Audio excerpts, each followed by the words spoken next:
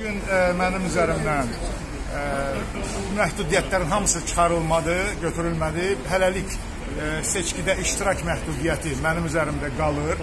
Bu bir problemdir. İkinci problem odur ki, məni hələ də bunlar cinayət törətmiş sayırlar. Mən hansı heç bir cinayət törətməmişəm və bəraət iddiasındayam və onu qazanacağam.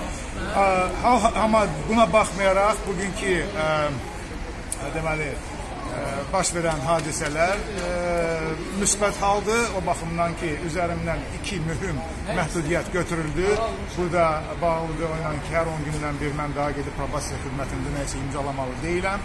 Üstəgəl e, deməli ölkədən xaricə gedib gələ bilərəm. E, bu e, nailiyyətdə, bu uğura imza atmağa bizə dəstək olmuş bütün cümhuriyyətçilərə bütün beynəlxalq həmrəylik göstərmiş tərəflərə ə, e, mən təşəkkürümü bildirirəm. Avropa məhkəməsinə də təşəkkür bildirirəm. Bütün yenə də deyirəm, Azərbaycanın içində və beynəlxalq ə, e, ə, e, çevrələrdə həmrəylik, dayanışma göstərmiş insanların hamısına təşəkkür edirəm. Xüsusilə də mediaya təşəkkür edirəm. Onlar mənim işimi bu qədər daim ictimai diqqət mərkəzində saxlamışlar. Çox sağ olun. Nisbətən gündəmləşdirilməsidir. Onun faktiki çəkdiyi cəzanın uyğunlaşdırılmasıdır.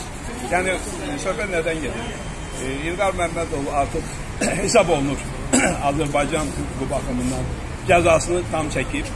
E, İlqar Məmmədov artıq şərti e, azaldan məhrum etmədə deyil və e, onun üzərindən bir sıra məhdudiyyətlər, o cümlədən e, Azərbaycandan çıxışa dair məhdudiyyət də götürülür. Yəni bıçağa qədər tutaq ki, o e, probasiya və icra şöbəsinə məlumat vermədən heç Bakı şəhərini belə e, tərk edə bilməzdisə, indi yəni xarici səfərlərə də gedə bilər. Amma bununla belə e,